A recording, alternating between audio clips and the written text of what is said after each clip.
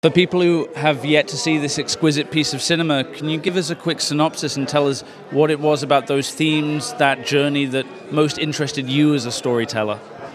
Is, is the film raises questions about freedom and responsibility in your you, you, know closest relationships in like family members, but also questions in a big, bigger perspective. How do we treat each other, and how much responsibility and uh, do we have to other people, and also questions about freedom. Uh, it's a very complex thing, this idea we have about freedom. Mm.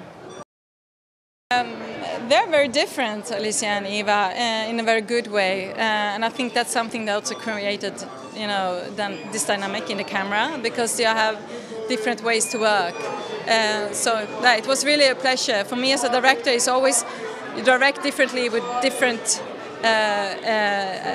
actors. So yeah, but Eva is, I mean, I know Alicia for such a long time, so our relationship is kind of different because we know each other so well. But uh, to meet Eva and work with Eva was amazing. I think Eva is such a wonderful actress as well.